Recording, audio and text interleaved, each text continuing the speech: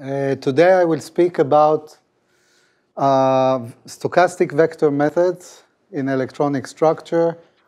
We have a recently published annual review of physical chemistry on it, but uh, what I will present here will be more broad than, than the annual review.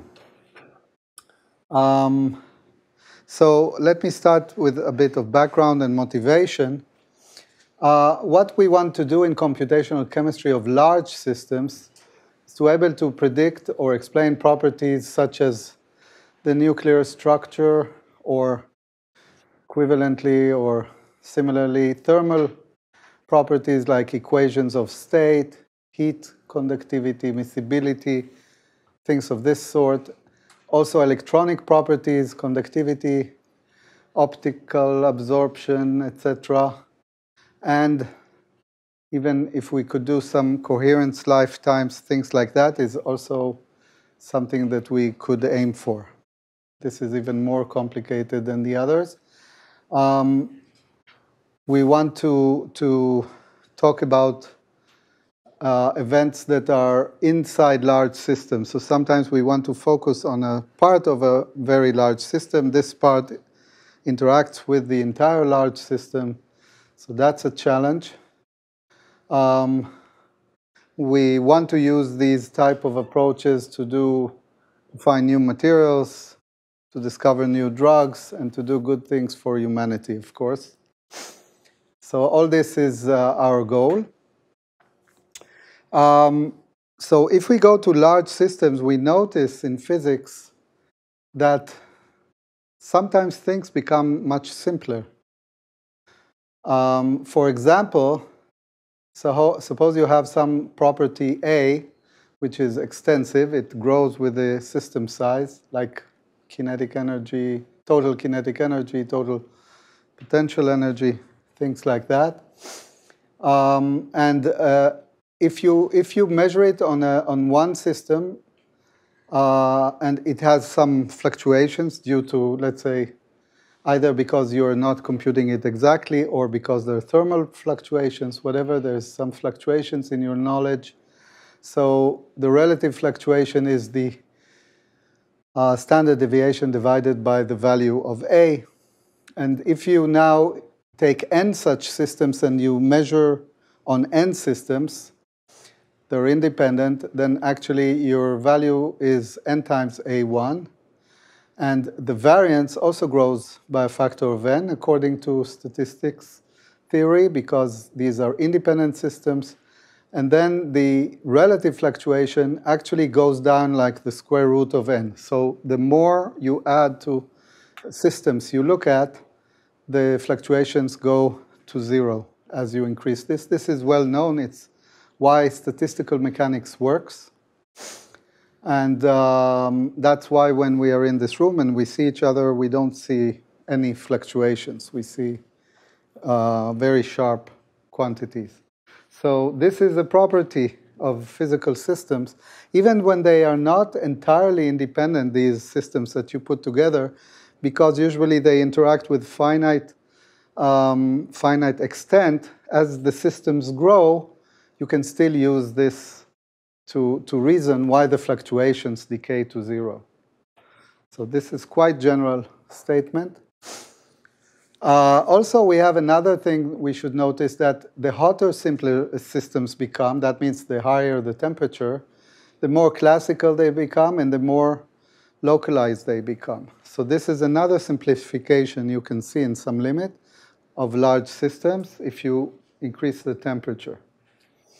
But our best method, arguably best method, but I think it's one of the methods of choice for large systems, maybe the most reliable today, is the Kohn-Sham approach, which basically tells you that you have to solve the Kohn-Sham, you have to map your system into non-interacting electrons and then solve in the non-interacting Hamiltonian, for which we have a simple recipe to build effect, uh, good Hamiltonians, which are reasonably accurate in many cases.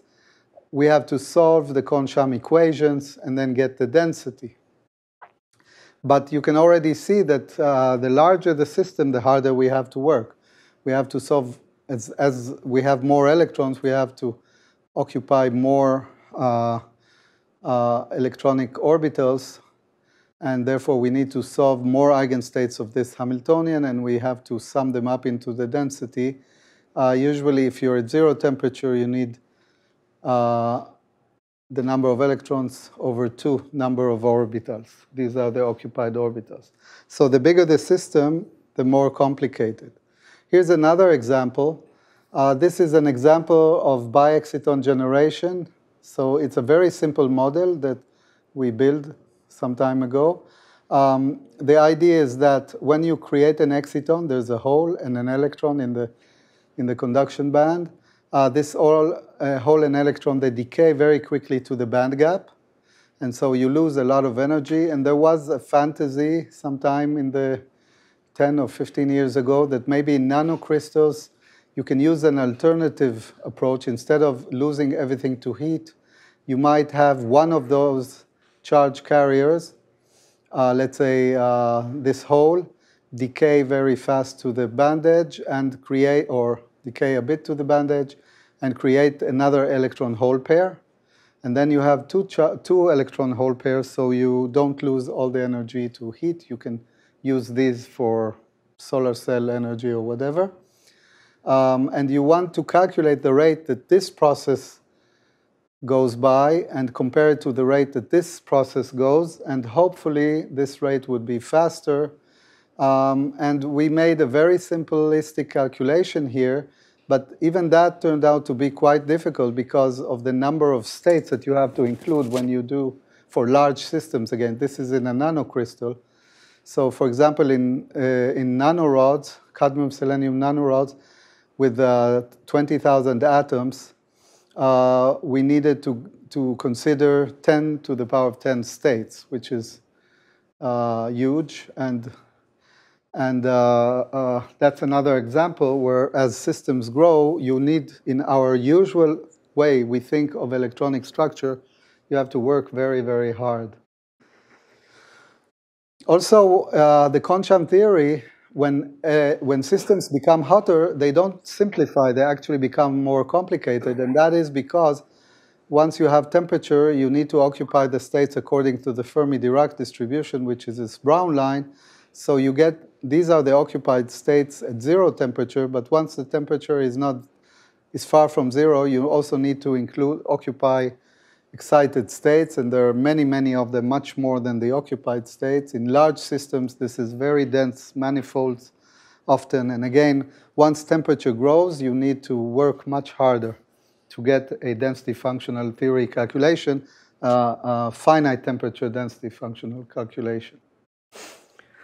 And uh, it's, we all know that, um, or there's a feeling that if systems are like condensed matter systems, which are more or less homogeneous, uh, it's, it feels silly to sum up all these orbitals. For example, in this very simple model that we teach uh, undergraduates, Kronig-Penney model, you have a Hamiltonian which includes two sites interacting with some uh, coupling. You get two bands the valence and conduction bands. And if you look at the eigenstates, this is the lowest eigenstate, so it's very similar to the eigenstates of particle in a box. No nodes. Here you have two nodes. Here you have um, five nodes, etc. And you can see that at lower energy, each eigenstate is very different from the other. But as the energy grows, as the n grows, they start becoming very similar. And it's very difficult to, for example, to differentiate between n equals 18 and n equals 20. Yeah, They're almost the same. There's a small shift. So, so why do we have to calculate all these states which look so similar? Maybe there's a way, another way. So my question is, can we uh, develop a method that actually goes to this physical uh, physical limit that things become simpler when systems grow, at least when they are simple homogeneous systems. Okay, that we don't have to work so hard as system grows or system becomes hotter. Is there a way to, to do the calculation that goes naturally to this physically, physical uh, property of systems? And of course, I wouldn't be asking if I wouldn't suggest something that the answer is yes. And the idea is to use a statistical approach so that uh, we actually we don't start doing all the orbitals, but just sample them. This is the main idea. And uh, then we can uh, do some calculations in for ground state, for uh, excited state, or for thermal states, and which usually require dealing with huge amount of orbitals. Maybe we can do them much easier. And um, let me just remind you background of a statistical theory. So the whole idea of using statistical theory is that you're going to sample. So you need the concept of a random variable that has that is distributed in some way, P of R. P has to be normalized to one, and you can calculate the and you can define an expected value for this variable, which is just the weighted sum of the values. And uh, if you have a function of the value, also you can use the same type of formula to get the expected value of f of r. f of r is also a random variable. And, uh, and you can calculate it, it, maybe its distribution is difficult, but it's to calculate, but its expected value is e easy to calculate if you know p of r.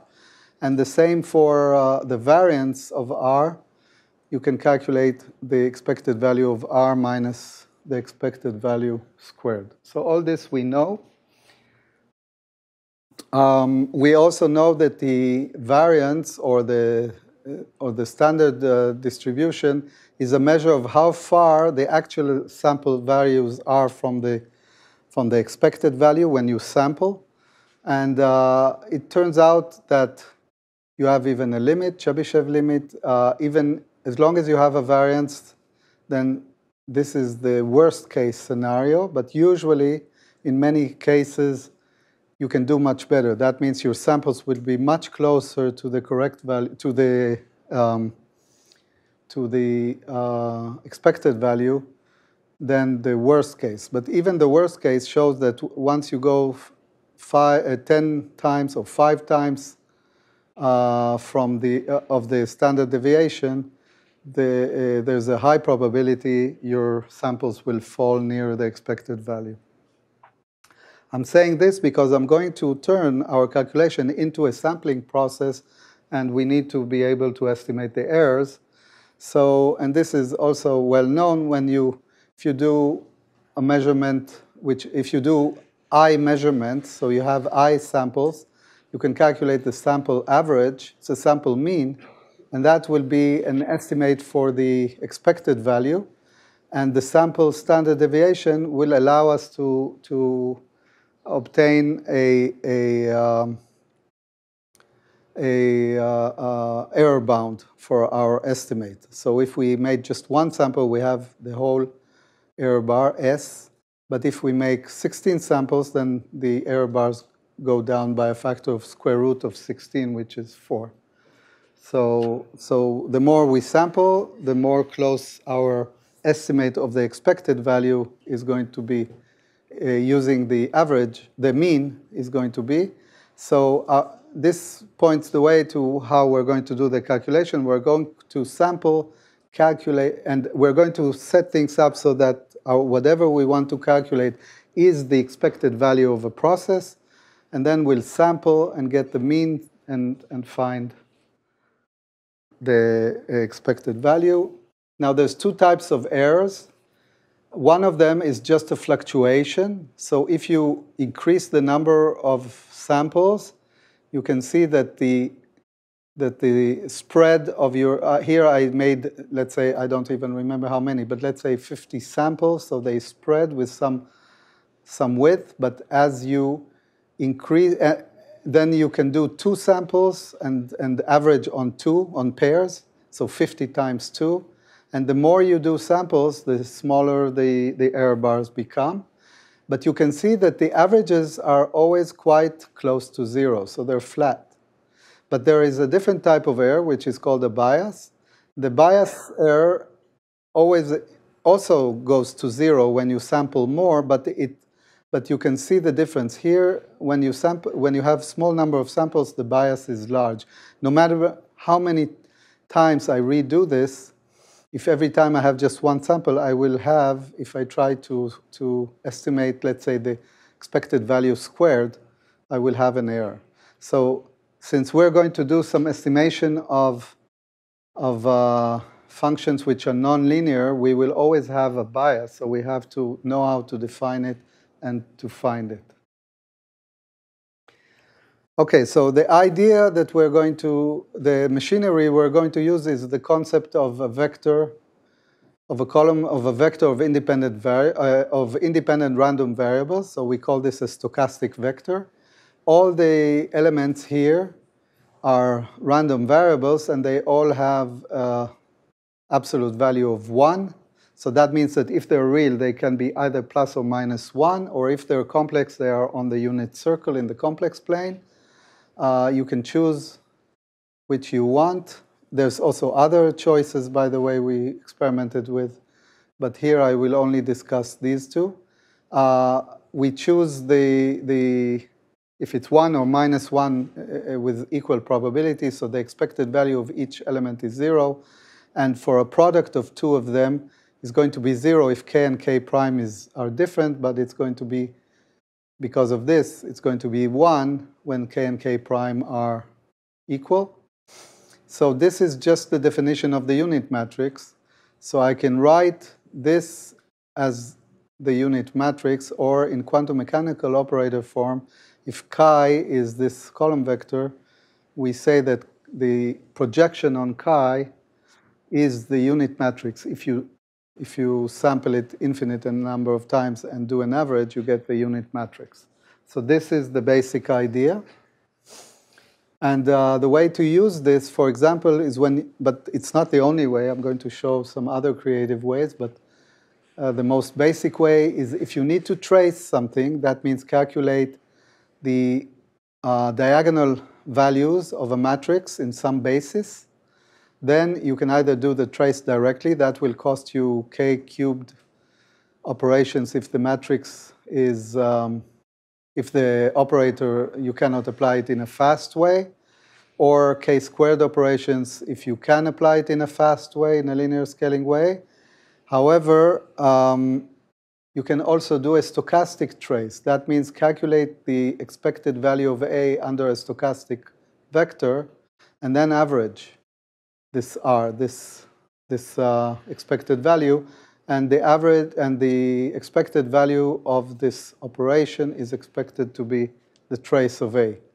So if you're willing to have some fluctuation in your result, this you can use this idea, and then and then maybe you will not be um, dependent on the size of this of this of the of the basis of your system. So if uh, and then and this will be this trace will be linear scaling, unlike the the exact trace, which is at best you can get is uh, quadratic scaling. So that's the basic idea of this approach. And we can actually show that uh, for ext uh, extensive quantities where the operator you're tracing is diagonally dominant, then the larger the system, the less you have to work. So you might be afraid that the larger the system, I still have to work more and more to get the trace. Actually, it's the opposite. Uh, for many cases, many physically relevant operators, they are dia diagonal dominant or nearly so. And then the bigger the system, actually, the better the trace formula works. So, so this is this you can prove mathematically. Uh, also, if your your operators are local in your basis, that means let's say, far from a given point or zero, then also the trace formula will be uh, linear scaling. Now, how do we use it in, in Kohn-Sham DFT?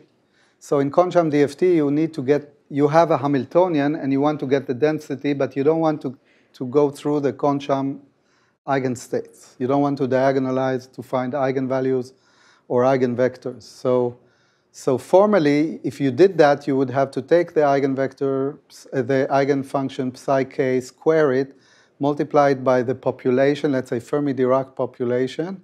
Here I talk about the square root of Fermi-Dirac, so you put it inside this, the brackets, and you sum over all the eigenstates in the system. This gives you the density. Okay, so that's a typical calculation in Kohn-Sham theory. Um, but in our case, okay, if we, uh, we usually use a grid of points and represent the wave functions on a grid, so it's actually vectors with grid points. So the previous expression becomes this sum, and uh, the, the vectors are just these, uh, represent the eigenfunctions. And I can write this sum as a trace in this way. So I, I define a operator f, which is the square root of the Fermi-Dirac function of the Hamiltonian. And I put it here and here, so it comes twice, so the square root goes away. And uh, this is the density at point r. I trace that, I get the average value of the density at point rg times 2 because of spin. And so I just wrote the density without wave, without the eigenstates of the Hamiltonian. Instead, I have this function of the Hamiltonian that I have to, to represent and to operate on, on, on a basis. Right? Yes. Okay. So you said you, you sample points on a grid how many points you typically have in your calculation? Or what is the rate? Typical, it depends on the system size, but let's say 10 million for a big system or something like that. But depends on the system size. But the number of grid points is proportional to your to the volume of your system more or less. Yeah. So, so that's important to know. Okay, so once we have a trace, we can just create out of it a trace formula. And actually, what we need to do is to calculate these functions, square them, and then take the expected value. These functions are the operation of f on a random vector, on a, a stochastic vector. So we take this f, operate on a stochastic vector. The result is squared at each point g, and then you have the density. That's all you need to do. Of course, you can even do it with just one, one function, but then you will have a big, so this is an issue of sampling already. How do I estimate this expected value? I can estimate it by doing just one orbital. That shouldn't give you a very stupid answer, by the way. It usually will give even, even just one orbital will give something that is reasonable. But if you want much less noise than you do, you typically have to do 10 or 100 or uh, stochastic orbitals, and then you get relatively good or uh, uh, good fluctuations. Okay, so this is much better than doing calculating all the Kohn-Sham states. It's much more uh, efficient. Ah, one more thing. Um, how do we operate with these uh, functions of the Hamiltonian on chi? This we use Chebyshev expansions of functions of a variable. H, the Kohn-Sham Hamiltonian is the variable. So that means that this function becomes a power series in, of some sort that we have to repeatedly operate with the Hamiltonian. And the number of terms in that uh, expansion depends on the temperature, actually, on this beta. So if you want target zero temperature, beta typically has to be quite big on the size of hundreds of atomic units. And then you need thousands, typically thousands of Hamiltonian operations. If you are in warm dense matter or uh, like, let's say, 50,000 Kelvin, then, then you only need a few hundred of Hamiltonian operations. Yes? I'm not sure to understand. So chi here is, are the random variables? Yeah, chi is a random vector. So it's a vector that is, let's say, 1 or minus 1 on each grid point. What is the law the? The probabilistic law of each random The so on each grid point, I put 1 or minus 1 with equal probability. probability. Yes. So it's, it's a very stupid function on the grid. No information in it, basically. But once you operate with f, then you, you get the density, uh, an estimate for the density. And if you do it for two functions, you get a better estimate, etc. Okay? So that's the basic idea. Yeah. More technical question. So um, an alternative that some people recommend is to do stochastic Lanczos. So it's the expansion is adapted to the random vector you're applying it to? Do you, you guys ever try that? I haven't tried Lanczos, but Lanczos is probably very similar to Chebyshev. It's very similar. It's just Yes. the expansion coefficients now have a dependence on the initial pi. On the initial, uh, Pi you apply to. yeah, so I will briefly touch on, on the fact that actually the fact that Chebyshev does not depend on chi at all, you can use it to do at the same effort several expansions at once. So for example, if you calculate not only the density, but let's say also the entropy or the, the orbital energy or anything which depends on h, only on h, then actually you can get very economical way of, with Chebyshev you can get a very fast way of estimating everything once you do uh, the density. Ah, here it, actually here is one of the tricks that we use that makes use of what I just said. So we can reduce the the, frag, the uh, uh, stochastic errors, the fluctuation errors by by using what we call embedded fragments. So we take the big system, make out of it a set of smaller systems. Each small system is something we can easily do a DFT for. And then we do a DFT on each small system, and then we use, we do it twice. Once a, a real DFT, a regular DFT, deterministic, and the second time a stochastic with the same, same random numbers we used for the big system. And then the difference between the deterministic value and the stochastic value for each fragment is used as a correction term for the stochastic DFT calculation. And that reduces significantly the errors, uh, the, the variance of the stochastic calculation. And you can show that what you're actually doing is trying to correct over the sum, the stupid sum of, of the different systems the stochastic process only corrects for the difference between the sum and the real system and not, not, uh, not doing everything stochastically. So that improves the calculation a lot. Another trick, which is more recent, is to divide the Fermi-Dirac, this is the energy, this is the Fermi-Dirac function up to here, but we create more Fermi-Dirac functions inside the occupied space, and each of them, and the difference between each two is actually a window, an energy window.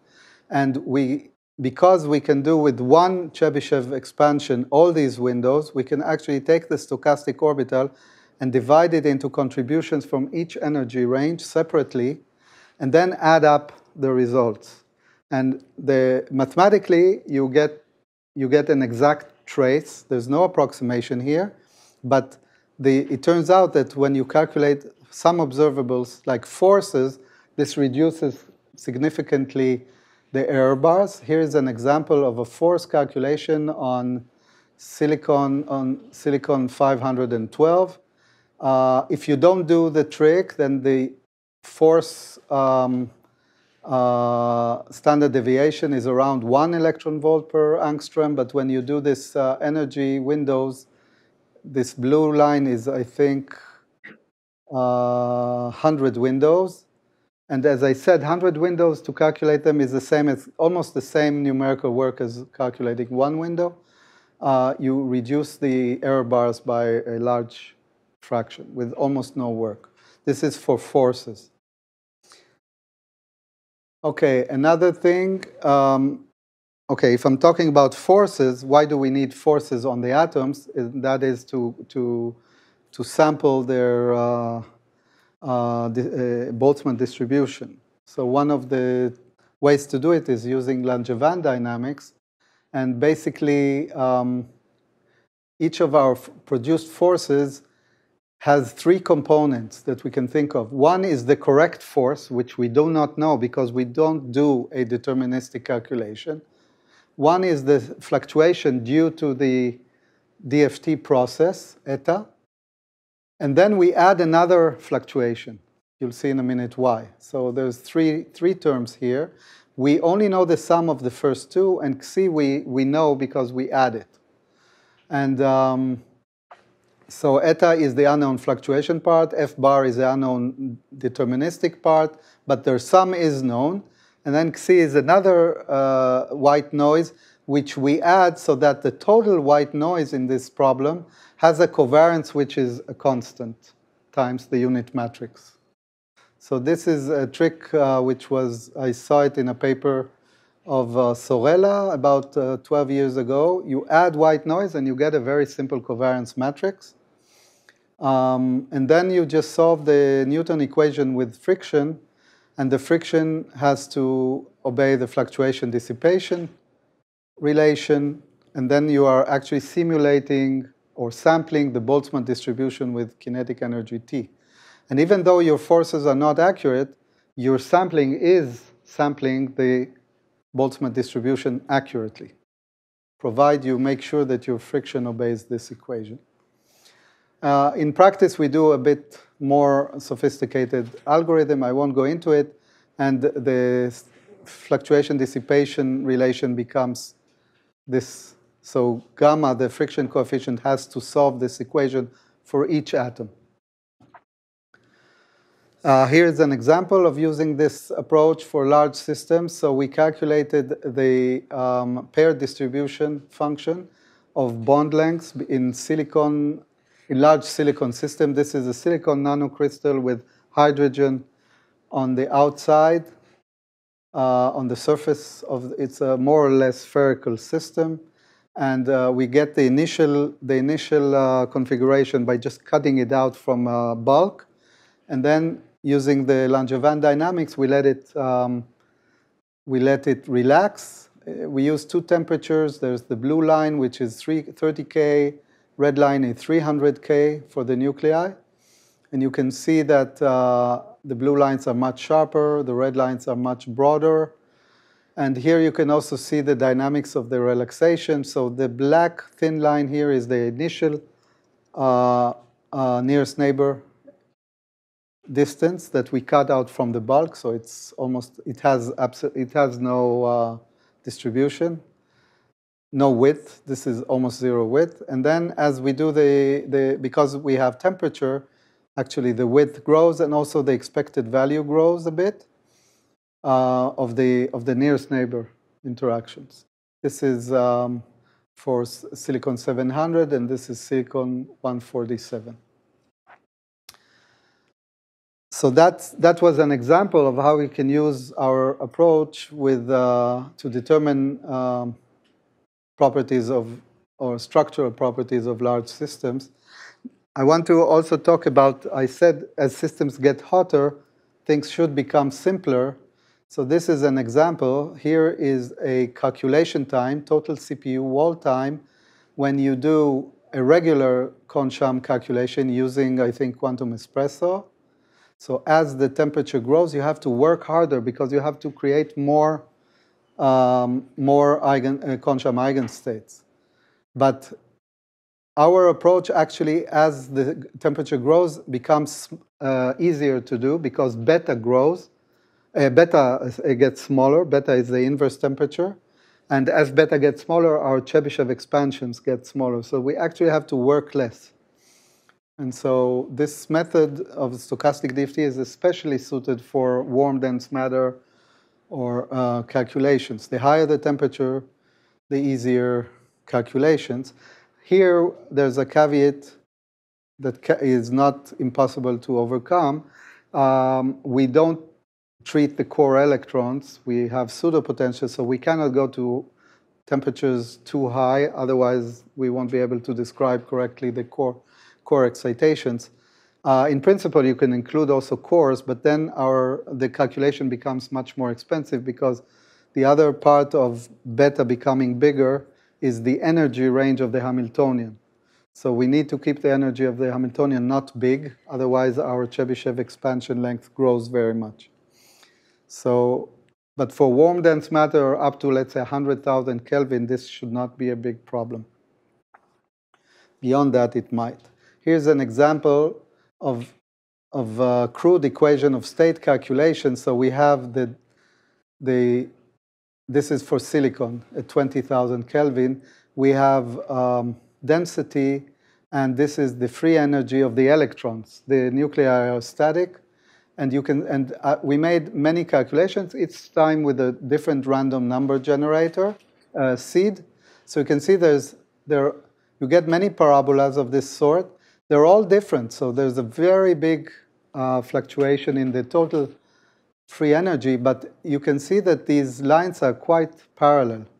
And in fact, if you calculate from this by differentiation of each of the lines, the pressure, the pressure has a much smaller noticeable um, error. You can still see that this line is very thick because there's many lines lying one on top of each other and they're not identical lines. So, but this is a useful pressure versus density. And even if you take the second derivative to get the bulk modulus, you still have a very nice uh, behavior. So even though the free energy is, has a big fluctuation, not very big, if you look at the relative, it's only, it's, it's less than, it's like 0.2%, so it's quite small. Once you take the derivatives, it looks like it's, you get useful information on the, on the pressure. This is pressure uh, due to the electrons, yeah. Um, Another thing that uh, is important in warm dense matter and also in zero temperature is the conductivity so you can do conductivity with time-dependent DFT. That's the correct way to do it. But there is also an approximation called the Kubo-Greenwood conductivity, which assumes that the electrons are non-interacting throughout. And then again, the expression of the of Kubo-Greenwood could be written as a trace of a time-dependent quantity, which you can then do a Fourier transform and get the conductivity. So because it's a trace, then again, all you need to do is to get a stochastic orbital, Xi, the, uh, chi, operate with, okay, you see all these operators here. This is momentum. Momentum as a function of t. It's a Heisenberg momentum, so you have to also do an evolution operator. So you have, you take a stochastic orbital, this minus 1, 1, minus 1, 1 everywhere. You operate with the Fermi-Dirac, which is, which is uh, a function of the Hamiltonian, then with the evolution operator, again a function of the Hamiltonian, and then with the momentum. And on the other side, with the same chi, you do a different operator. So basically, it's we took those two, and when you put them together and take the uh, the overlap between these two functions that you get c and eta, and you you will get the um, the conductivity or the correlation function then you can Fourier transform it and get the conductivity or whatever you're looking for. So the procedure, again, involves no eigenstates. The original Kubo-Greenwood formula involves all the eigenstates of the problems. You have to go to the unoccupied eigenstates and to the occupied and look at electron hole uh, pairs, etc. So here you don't have to do it. It comes out. And this is an example uh, of, of the calculation for hydrogen, 256 at 4,000 Kelvin. So this is a benchmark. Uh, we did the deterministic and the stochastic, and we can show that we can get very good agreement between the two. Also here I give uh, a result from a paper by the group of Ronald Redmer of the same system, but using GGA. We're using LDA, uh, and you can see this is our result, the blue line, and the result is this red line. They, they go to zero beyond some energy because they stopped calculating the eigenstates. So they cannot look at electron hole pairs beyond a, a given photon energy. Because we're just doing sampling of everything, of the entire electronic space, then we can go to the entire spectrum. And then we use this approach to study mixtures of helium and hydrogen. Um, how much time do I have, Mr. Garnett? okay, I'll look. I thought you were sitting with the clock and waiting to stop me. 10 minutes. Yeah. 10 minutes. So maybe I will jump over this. These results are uh, maybe, maybe important for people who are studying these systems, but here I'm just using it as an example of, our, of the method more than the physics. So we change the mixtures between helium and hydrogen, and you can see that when the system in this mixture, when the system is, is mainly hydrogen, it's a conductor, so that most of the conductance is done at zero uh, is DC. And when you have helium, most of the conductance, there's a peak somewhere in between, around 30 electron volts, which is close to the ionization energy or above the ionization energy of helium. And, and if you look at mixture like this yellow thing, half and half, then you have some mixture between the two uh, spectra. What, what pressures are these? Uh, pressures I cannot tell you because I don't, we didn't uh, calculate the pressure. I can tell you the density and the temperature, but uh, I don't have, I, this is before, now we're working on doing a full uh, Langevin dynamics calculation from which we can give the, the pressure and temperature. Here, this is done on a system that we used a uh, force field to get the structure, the nuclear structure, and this is only electronic calculation. So I don't know the pressure, but I do know the density. It's very high pressure, I assume, but I don't know exactly.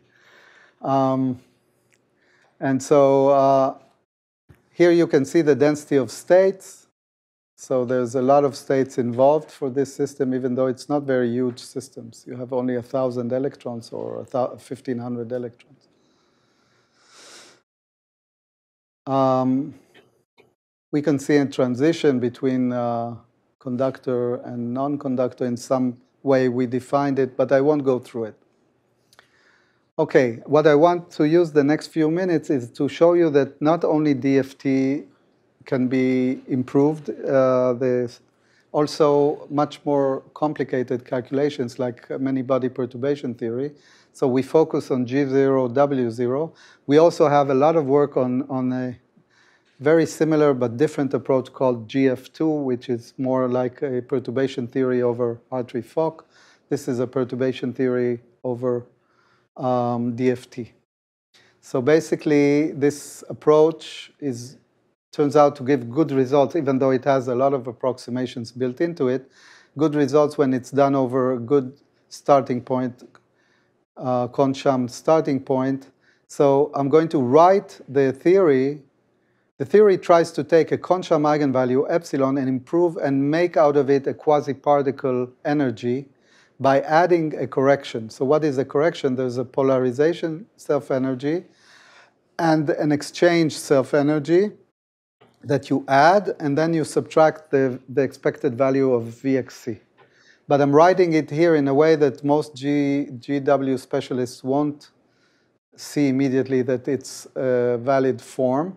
I write it for any epsilon. That's because we're talking about big systems. The eigenvalues are almost continuous. So I, I treat epsilon as a continuous value, a variable. And then, and then uh, I represent expectation values as a trace with a Gauss, very narrow Gaussian function of the Hamiltonian around epsilon. So this is instead of doing an expected value, we're doing a trace with a, with a narrow operator.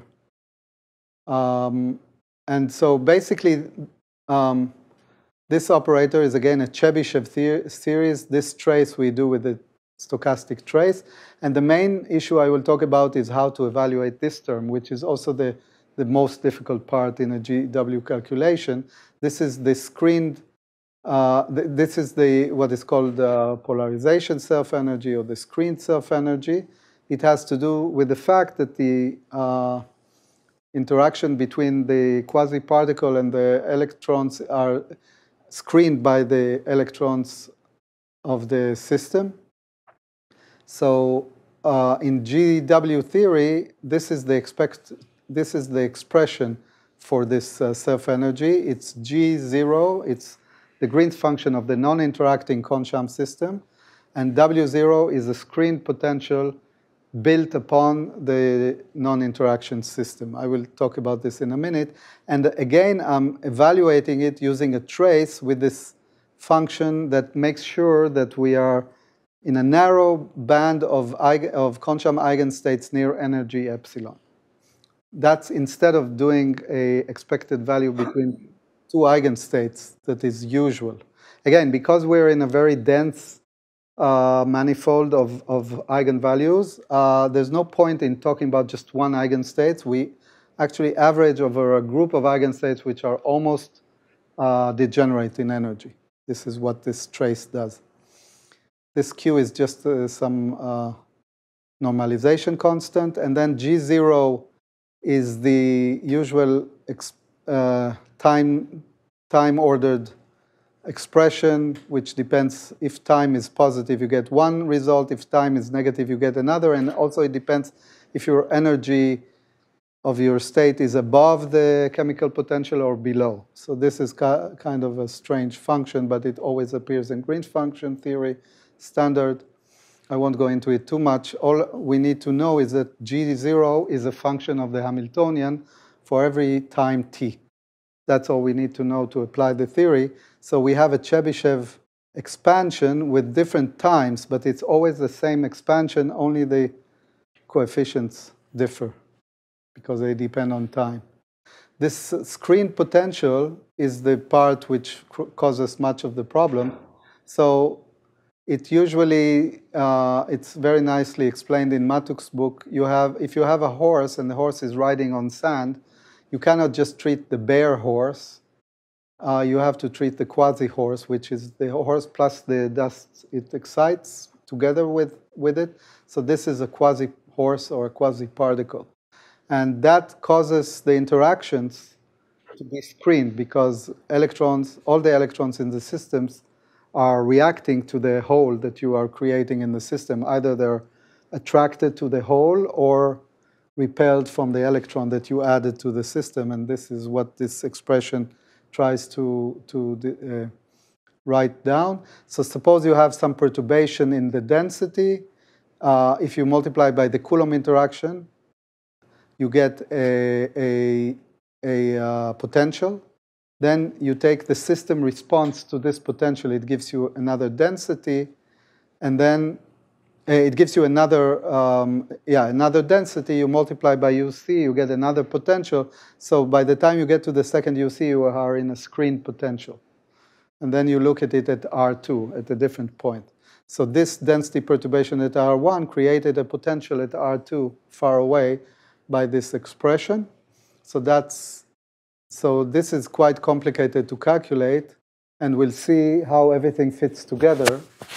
So the entire self-energy, we write it in the time domain. Afterwards, we can always do a Fourier transform to get it into the uh, energy domain.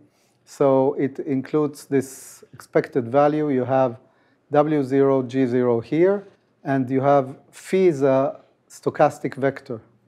You have phi here, and here phi epsilon is just phi, which we operated with a filter. So this you need to calculate for each phi. Let's say you have only one, you do just one calculation like that. If you have 10, you have to average on 10, etc. The more you average, the better the, this result becomes. Now, what's, how do you evaluate these operators? So G0 is evaluated using two stochastic orbitals. So there's one here, stochastic orbital, another one here, second one, zeta. Zeta prime is just G operating on zeta gives zeta prime. So this operator can be written as an expected value of this expression. And the last one, this W0, is the more difficult one. Uh, we stick it together with equation 12 into the expression of sigma. So you get a very complicated looking expression. There's phi from the first stochastic orbital after it's been filtered. Then you have zeta prime. It's a function of t. On the right side, you have zeta and phi not unperturbed. So these are the original stochastic orbitals. And here you have this W0 now. Okay, and the big problem in doing this calculation as it stands is that here you have T and T. And actually, as I told you, we can, if there weren't two T's in this expression, we could use the Chebyshev trick of with one expansion doing all T's together, but they are, but they appear in two different places, so we cannot really do it. And so the, what we do is we introduce a third stochastic orbital, stochastic vector, here, just in between this and this. And this allows us to have two numbers instead of orbit, instead of uh, operators, we have numbers. Here there's one number, and here there's another number. And we can calculate this separately as a function of t, this separately as a function of t, and then multiply the two numbers, and we get the and average if we want to do many calculations and and get sigma. And so the only thing left to calculate is is this quantity with three stochastic orbitals, xi, zeta, and phi. And this we do with TD-DFT or TD-Hartree, depending on which method we want to do, use. So we, so this zeta phi, this random product, uh, this product of two random orbitals, uh, is considered as a density perturbation. Multiplied by UC, it becomes a potential perturbation. Then chi, using TD-DFT or TD-Hartree, converts the potential fluctuation, delta V, into a density fluctuation, delta n. And then UC operates on delta n, so it creates the, the Coulomb potential of this density perturbation. And this is then evaluated with Xi. And that uh, finishes this thing. So we had to use three sets of stochastic orbitals, phi, xi, and zeta, and that allows us to break up. So there's several tricks here, like representing an operator with a pair, breaking up an expression into two parts, and also using the trace formula. Um, this is the most elaborate uh, calculation or tricks that we have used. And uh, I see the chairman standing up just to tell you we tested our method on small molecules where we can compare to, to turbo, uh, turbo, how is it called? Turbomole, turbomole. Uh, and we get essentially the same results. So the method really works. It's not just on paper. And also we, we uh, calculated it for very large systems reaching thousands of electrons. Here we can look at the quasi-particle. This is the Hall energy. This is the electron energy, highest Hall energy, lowest electron energy. And we can see that the, in silicon, at least, the holes, they become degenerate already at uh, around 1,500 electrons, but the electron energy keeps going down. So basically, it's still system size dependent here. Of course, uh, we know that for silicon, it will stop being system size dependent only when the gap is one electron volt. So there's still a way to go. 3000 is still a small system for this, for electron localization in silicon. Okay, I finished. Just uh, to, to remind you what we said. I said the motivation was to find methods that when systems grow and become harder, the method itself becomes easier to, to apply, unlike our usual approaches in density functional theory. I showed that you need to combine Chebyshev expansion methods and stochastic trace and stochastic sampling to allow DFT calculation and GW calculations. And um, the main field that we see right now for, for this type of approaches is really to study WDM warm dense matter uh, systems where the DFT really becomes much easier than the deterministic calculation. So we are now in an ongoing project that has only begun now. Because of COVID, it took about a year to start. Um, and to study how good this our approach will be for WDM. With this, I finish. I should just like to point out that we, by now, this uh, approach, uh, we've been developing it for almost 10 years. So there are many people who contributed. Um, students, this is in my group, and the entire work is in collaboration with Eran Rabani's group in Berkeley and Daniel Neuhauser's group in UCLA. So there are many people contributing from there. Uh, Vojtěch Vlček is a big contributor. He was my PhD student and then went and did postdoc with Daniel Neuhauser. Today he's in UC Santa Barbara. We also have collaborations with Dominika Zgid and Ronald Redmer. So by this, I finish.